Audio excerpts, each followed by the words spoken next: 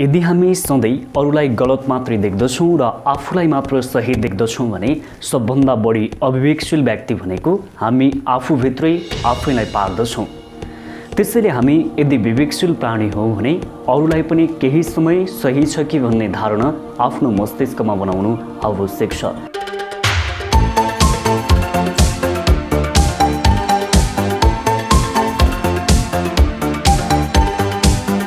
एकपटक हामीले ऊ पनि सही छ कि भनेर सोच्नु आवश्यक हुन्छ। ऊ मान्छे पनि केही न केही र कहीँ न कतै सही पनि बन्न सक्छ। त्यसैले हरेक पटक अरूलाई चाहिँ गलत देख्नु भनेको हामी नराम्रो हुनु हो आफै नराम्रो हुनु हो। त्यसैले हामीले अरूलाई पनि यो चान्स दिनुपर्छ कि त्यो मान्छे पनि कहीँ सही छ कि भनेर हामीले पनि एकपटक रियलाइज गर्नुपर्छ एकपटक विश्लेषण गर्नुपर्छ। यदि हामीले ऊ मान्छेलाई सही देख्छौँ भने पछाडि हामी आफू गलत ठहरिँदा सबभन्दा नराम्रो हुन्छ। त्यसैले ऊ पनि सही छ कि भनेर एकपटक चान्स दिनुपर्छ। र यही क्रममा हामीले सधैँ आफूलाई सही देख्ने गरेरै मानिसहरू आकर्षित हुने गर्दछन्। हरेक पटक मानिसहरू रिस त्यति बेला व्यक्त गर्दछन् जति बेला ऊ आफू मात्रै सही छु भन्ने लाग्दछ त्यति बेला उनीहरू बढी रिस देखाउने गर्दछन्।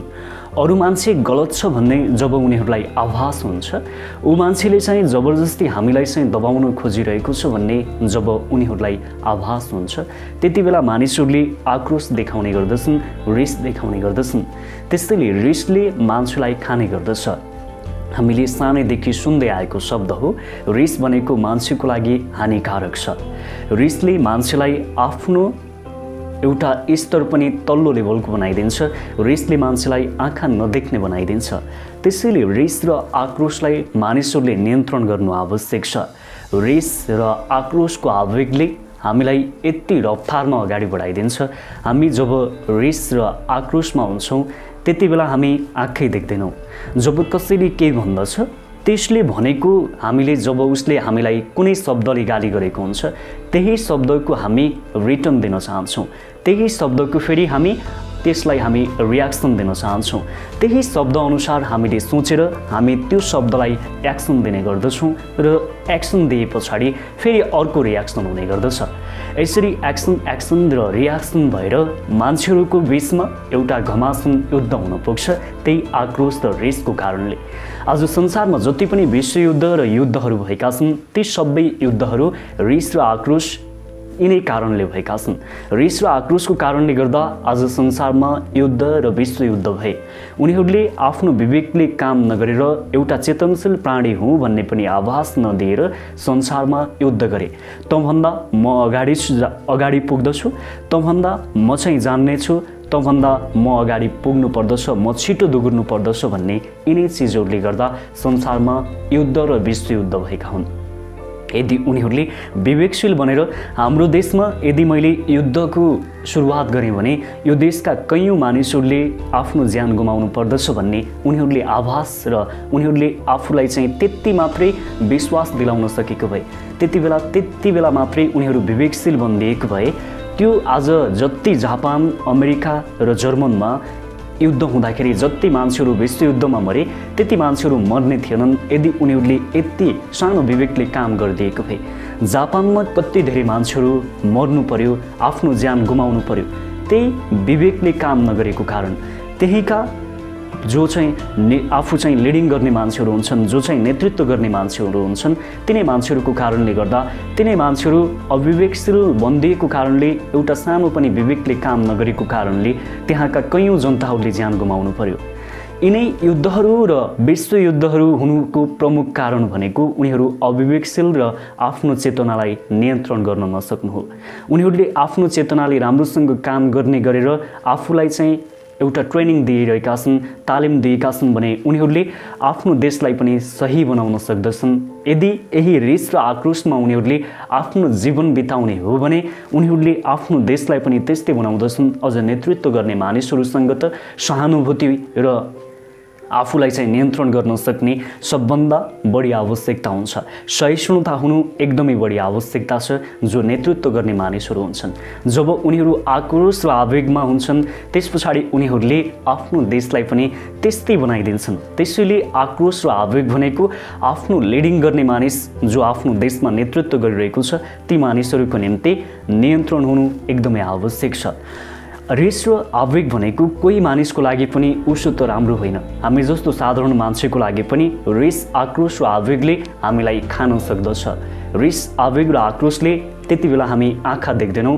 हामी त्यो अवस्थामा पुग्ने आफूलाई बनायौँ भने त्यसरी हामीले आफूलाई ट्रेनिङ दियौँ भने हामीले कुनै पनि काम राम्रोसँग गर्न सक्दैनौँ। कुनै पनि चिजलाई हामीले सही तरिकाले हामीले सल्भ गर्न सक्दैनौँ। त्यसैले हामीले यदि कुनै पनि चिजलाई सही र सही तरिकाले सल्भ गर्ने र सही तरिकाको बनाउन चाहन्छौँ भने हामीले रिस आक्रोश र आवेगलाई नियन्त्रणमा राख्नुपर्छ। रिस आवेग र आक्रोश यी तिन चिज तपाईँले आफ्नो जीवनमा सधैँ नियन्त्रण राख्न सक्नुभयो भने यी तिनवटा चिजहरूले तपाईँलाई पनि राम्रोसँग कसरी तपाईँ तपाईँलाई चाहिँ एउटा आकार दिने भन्ने चिज यी तिनवटा चिजहरूले नियन्त्रण गर्दछन्।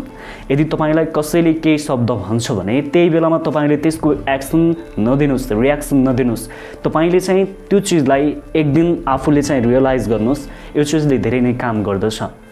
धेरै महान महान व्यक्तिहरू आफूले चाहिँ जब कसैले आफूलाई केही शब्द बोलेको हुन्छ कसैले चाहिँ आफूलाई केही प्रहार गरेको हुन्छ भने उनीहरूले त्यही बेलामा चाहिँ आफूले चाहिँ त्यसको रियाक्सन दिँदैनन्।